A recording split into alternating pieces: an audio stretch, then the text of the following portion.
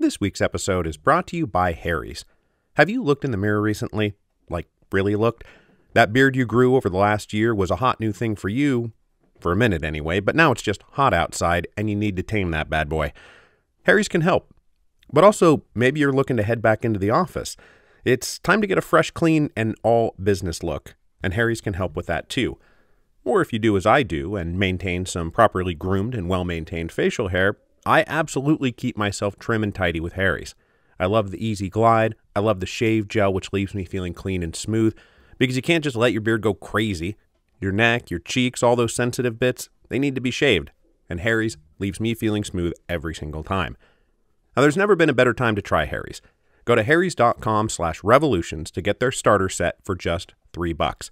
It is 100% satisfaction guaranteed, so you've got nothing to lose. Go to harrys.com slash revolutions right now to get this special offer. That's H-A-R-R-Y-S dot com slash revolutions. Hello, and welcome to Revolutions. Episode 10.67 Liberty or Victory. Last time, we covered the Bolsheviks' first week in power. A week most of their enemies and rivals assumed would not be their first week in power, but their only week in power.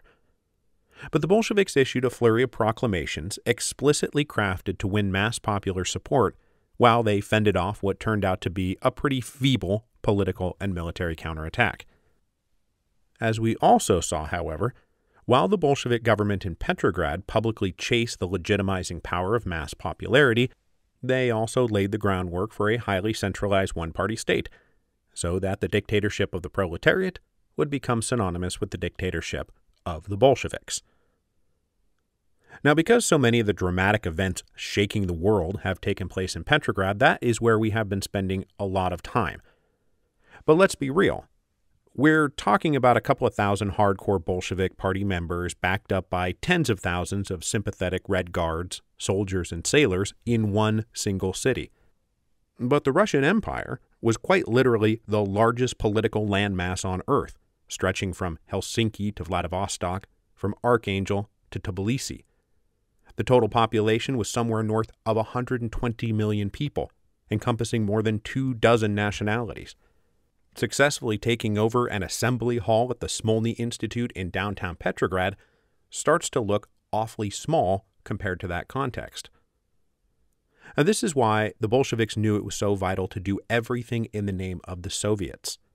Because after six months of war, chaos, disappointment, and disillusionment since the February Revolution, the Soviets as an institution were probably the one thing left in the Russian Empire that had any political legitimacy at all. There were local Soviets scattered everywhere, hundreds of them, inside army garrisons and naval bases, factories and mines, big cities, small towns, tiny villages. Each of those local Soviets enjoyed a great deal of local support. And so when word spread, either by telegraph or railroad or word of mouth, that the October Revolution stood for all power to the Soviets, the news was greeted with enthusiasm. Now, none of this was about people cheering the ascendancy of the Bolshevik Party, mind you. It was about cheering the ascendancy of the Soviets, especially as news of the October Revolution in Petrograd was often accompanied by news of the Decree on Peace, the Decree on Land, the new worker regulations, and the Declaration of Rights for National Minorities.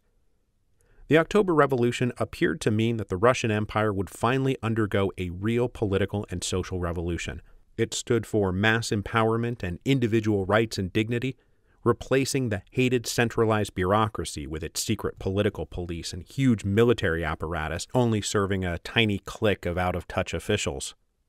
Stares, in foreshadowing. But though the verdict of the October Revolution was initially accepted, it was hardly uncontested. The most immediate example was in Moscow. As soon as Moscow learned of the events of October 25th, political leaders split into two hostile camps, with the Bolsheviks on one side and a coalition of SRs, Mensheviks, moderate socialists, cadets, and army officers on the other. Inner Moscow turned into a war zone during the last week of October as both sides raised armed detachments to fight for control of the city. This street fighting in Moscow, along with the little Battle of Pulkovo outside Petrograd we talked about last week, count as the first shots of the Russian Civil War. And both ended almost the same way. Just as the Cossacks were surrendering outside Petrograd on October 31st, the Bolshevik dominated Moscow Soviet went on the offensive and declared victory the following day. The two biggest and most important cities in the empire were now in the Bolshevik Soviet camp, but only after expending a lot of bullets and a lot of artillery. There were a couple of other big regions that resisted the Bolsheviks in Petrograd.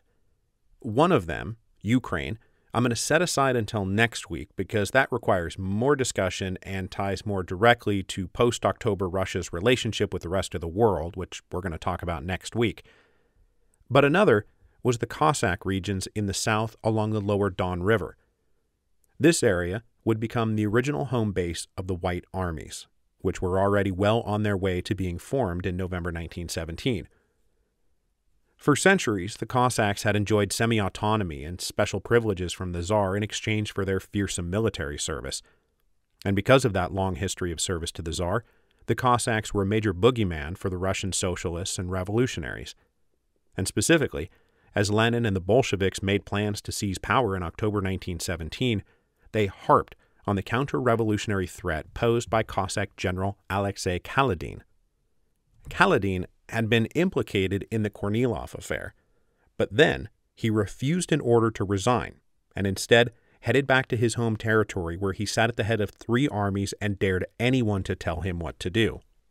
Bolshevik newspapers in the fall and winter of 1917 consistently raised the specter of the three Ks of counter revolution Kerensky, Kornilov, and Kaledin now, I think it's fair to say that after the October Revolution, the Cossacks had little loyalty for either the deposed Tsar or Alexander Kerensky, but they were absolutely opposed to the Bolshevik seizure of power, and their homeland would become a safe haven for all those who shared that opposition, and their homeland would be the ground within which the first white flags would be planted.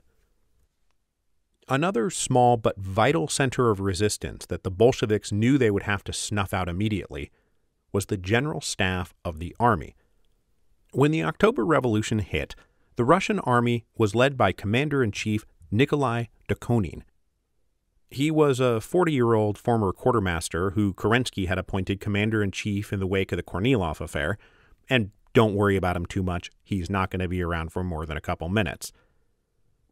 After Kerensky and Krasnov failed to recapture Petrograd on October 30, which we talked about last week, Dukhonin signaled that the general staff intended to resist the Bolsheviks.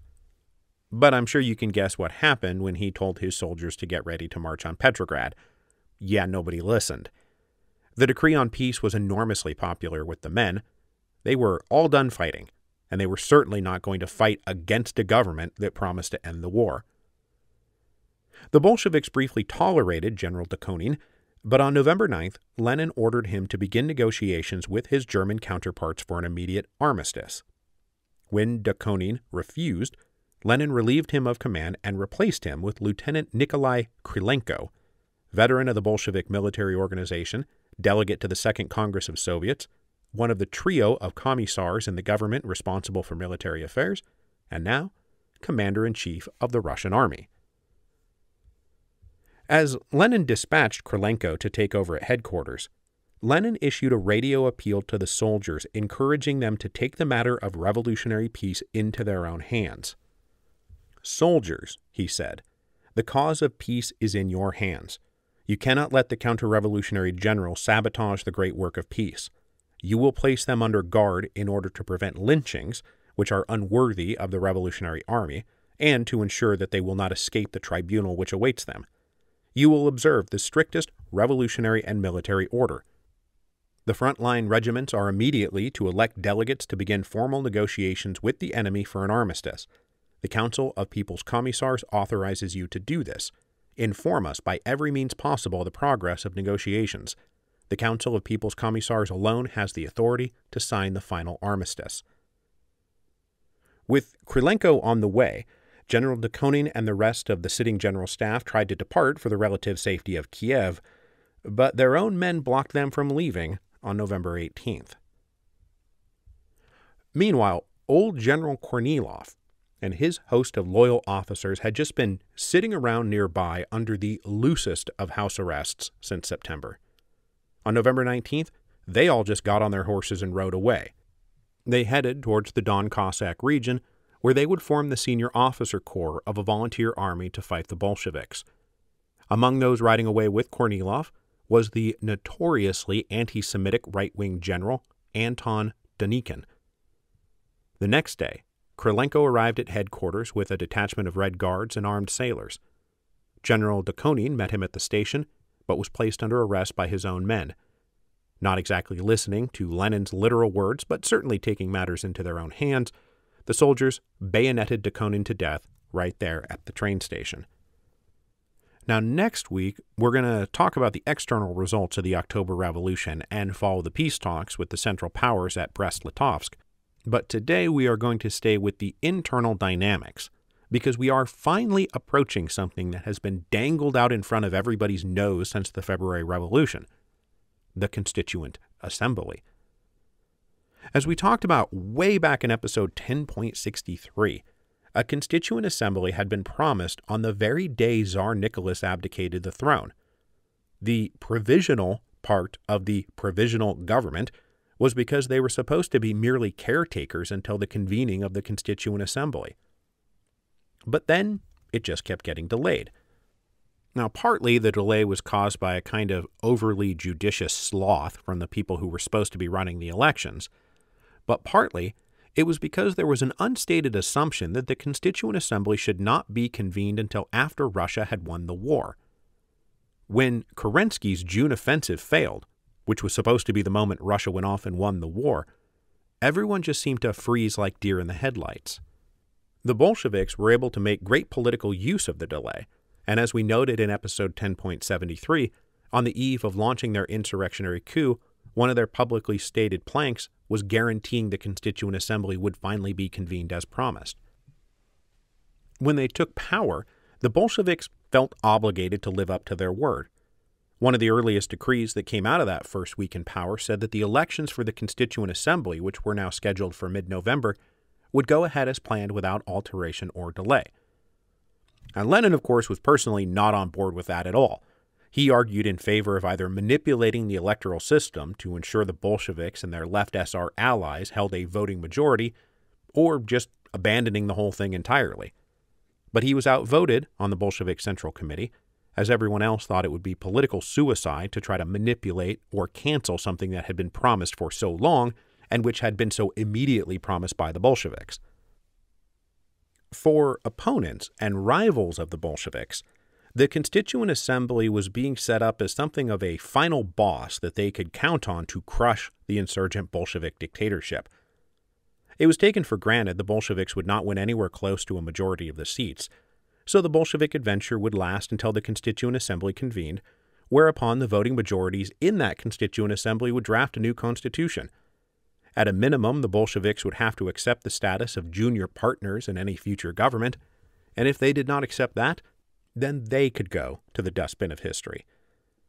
The SRs in particular believed the Constituent Assembly would solve everything, and that the Bolsheviks wouldn't dare try to overthrow a truly democratic assembly of the nation. One SR said of his comrades, They thought the Constituent Assembly was protected by some vague power. The great people of Russia would not permit any profanation of the noblest ideal which had sprung from the revolution. But just to be sure, they formed the Union for the Defense of the Constituent Assembly, composed mostly of that same collection of SRs, Mensheviks, intellectuals, and municipal officials who had been actively opposing the Bolsheviks since October 25th. Elections to the Constituent Assembly unfolded over the last two weeks of November 1917. They were held on the basis of universal suffrage, truly universal suffrage. All adults were allowed to vote, both men and women.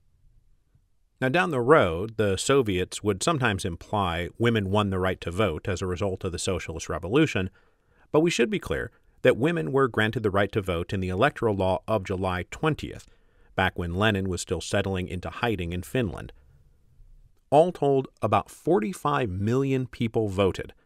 It was a huge turnout given the circumstances. It was nothing less than the single largest election in Russian history to date. The official results would not be announced until the end of September, but the picture soon became very clear. Of the 767 seats elected from the 74 districts that we have data from, the vast majority of the electorate voted socialist of one stripe or another. Something like 75 to 80 percent of the total votes went to socialist parties. The Liberal Cadets, once the leading political party in Russia, won just 4.5% of the vote, for a grand total of 16 seats. The cadets could not even muster more than a quarter of the vote in the cities where they were supposed to be strongest. So, one thing for sure that we can take away from all this is that in the fall of 1917, there was no right wing bloc, nor even a progressive liberal bloc. Everyone voted socialist. We also do not find among the vast Russian peasantry, as we did find among the French and German peasants after 1848, any hint of forming a conservative base for reactionary neo absolutism.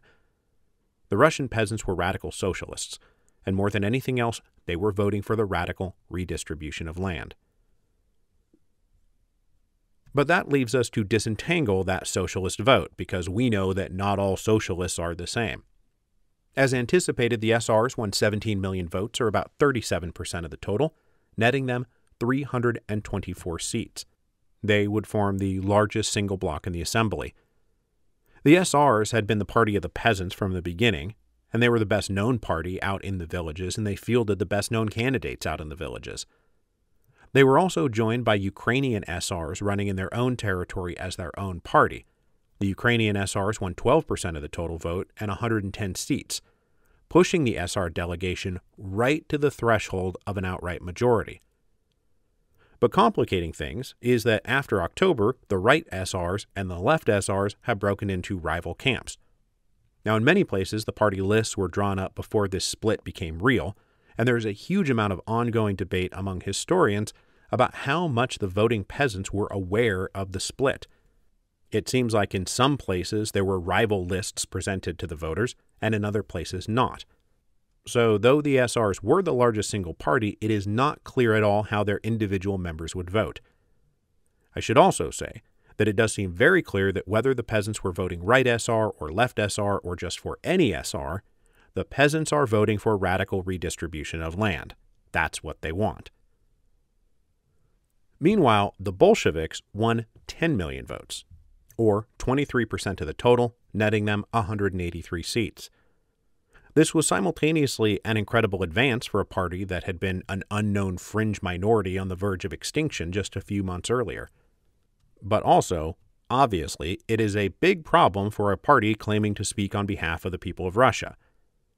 The Bolsheviks had basically zero connection to the peasants, and they collected all their votes from the urban parts of central Russia. The further you got from the city centers and the further you got from the center of Russia, support for the Bolsheviks tapered off rapidly. Lenin took some solace in the fact that his party did very well in key military garrisons. In army units in central and western Russia, the Bolsheviks were clearing 60% of the vote. In the Moscow and Petrograd garrisons, they were winning 80% of the vote. All told, about 5 million soldiers voted, and the SRs and Bolsheviks wound up running neck and neck with each other, each taking about 40% of the vote. I should mention before we move on here that the Mensheviks are dead. All told, they're going to win 3% of the total vote, just a handful of seats, and not unlike the Imperial General Staff, they wind up looking like a group of generals without an army. As the picture of the electoral results started to clarify, the Bolsheviks were left with a choice. As they entered the Constituent Assembly as a minority faction, if they failed to win enough votes for their preferred policies, would they accept the verdict of the Assembly, win or lose? Even if it meant giving up power. They did not have long to decide. But I should say that whenever the possibility of the Bolshevik government shutting the assembly down entirely, the SR Viktor Chernov said, they wouldn't dare. While the elections unfolded, a missing pillar of Soviet authority convened. That oh so all important Second All Russian Congress of Soviets of Workers and Soldiers Deputies had been just that a Congress of Soviets of Workers and Soldiers deputies. The peasant Soviets did not take part in it. As an organizational institution, the Congress of Peasant Soviets, dominated by SRs, protested the convening of the Second All Russian Congress and refused to send delegates. One wonders how history might have been changed if those peasant SR delegates had shown up in Petrograd instead of turning up their noses. It's entirely possible the Bolsheviks would not have had enough votes to push through what they pushed through on the night of October 25th, which I guess we'll just file under history is made by those who show up. On November 26th, a new Congress of Soviets of Peasant Deputies convened in Petrograd. Before this peasant congress convened, the Bolsheviks and their left SR allies managed to alter the rules of representation to the peasant congress, adding slates of delegates from local military garrisons, which were more properly represented by the Soviets of Soldiers deputies. But since they were heavily Bolshevized, Lenin pushed through a rule change to pack in as many Bolsheviks as possible and as we just discussed, it's not like there were any actual peasant Bolsheviks to call on. The Congress was a chaotic mess from the start. Bolsheviks and left SRs were by now experts at tactical disruption, yelling, hooting, heckling, and physically pushing their way on stage if they didn't like what was being said. One of the main points of contention at the present Congress was the Constituent Assembly, Lenin himself delivered a speech to the Congress where he floated the notion that really, when you think about it, there's no need for a constituent assembly because the Soviets are already a higher form of democracy. In response, Viktor Chernov put forward a resolution that said, The Congress believes that the Soviets of workers, soldiers, and peasants' deputies, as the ideological and political guides of the masses, should be strong combat points of the revolution standing guard over the conquests of peasants and workers. With such legislative creativity, the Constituent Assembly must translate into life the aspirations of the masses as expressed by the Soviets. In consequence, the Congress protests against the attempts of individual groups to put the Soviets and the Constituent Assembly against one another. With Lenin clearly aiming to do just that, the Congress approved Chernov's resolution by a vote of 362 to 321. But with the left SR leader Maria Spiridonova chairing the Congress, the Bolsheviks convinced her to set this vote aside. This brought the Peasant Congress to a crashing halt. The right SRs walked out and reconvened elsewhere, declaring themselves the legitimate Peasant Congress, while those they had left behind merely an illegitimate rump. The Bolsheviks and left SRs who had been left behind said exactly the same thing. The matter was ultimately settled by the power of, well, power. The Bolshevik and left SR Congress approved a slate of delegates to go off and join the Executive Committee of Soviets that they had formed after the October Revolution. That would be a precursor to calling for a third All Russian Congress of Soviets, this one of workers, soldiers, and peasant deputies, which would indeed be set up as an alternative to the Constituent Assembly. And the reason that worked, the reason all of that was considered legitimate, is because the Bolsheviks won. And indeed, Lenin and the Bolsheviks are playing to win. On December 1st, just after the Constituent Assembly elections ended, the Bolshevik government straight up outlawed the Cadet Party. Not a prescription of individual cadets, but a blanket ban on the party. Lenin still believed that as the party of the capitalist bourgeoisie, the cadets represented a major threat, particularly if they were able to link with the reactionary elements in the military. Lenin, in fact, referred to them in public as the Cadet Kaledin Party, that is, the Cossack general setting up white armies down in the south. Just as with the press censorship decree, Lenin was assailed for his attack on civil liberties. Those liberties were supposed to be one of the cornerstones of any post revolutionary regime. We overthrew czarist tyranny in part because of all the censorship and political controls, remember? And here you are simply putting all of that back into place. Lenin's old friend Maxim Gorky, who, I should mention, Lenin still allowed to publish, attacked the criminalization of the cadets as fundamentally incompatible with political liberty even the left SRs, who were on the verge of joining Lenin's government, protested against his actions. But Lenin didn't care. Political victory was far more important to him than something so trifling as political liberty. Then on December 5th, Lenin and the Bolshevik government took another step towards ensuring liberty did not interfere with victory. In a secret decree they did not even make public, they abolished the Military Revolutionary Committee and repurposed its constituent parts to create a new paramilitary apparatus with a far more all encompassing mission to protect the revolution. The new group was called the All Russian Extraordinary Commission for Combating Counter Revolution and Sabotage under the Council of People's Commissars. But since that is quite a mouthful, this group became known, when its existence became known, by its shorthand name, the Cheka.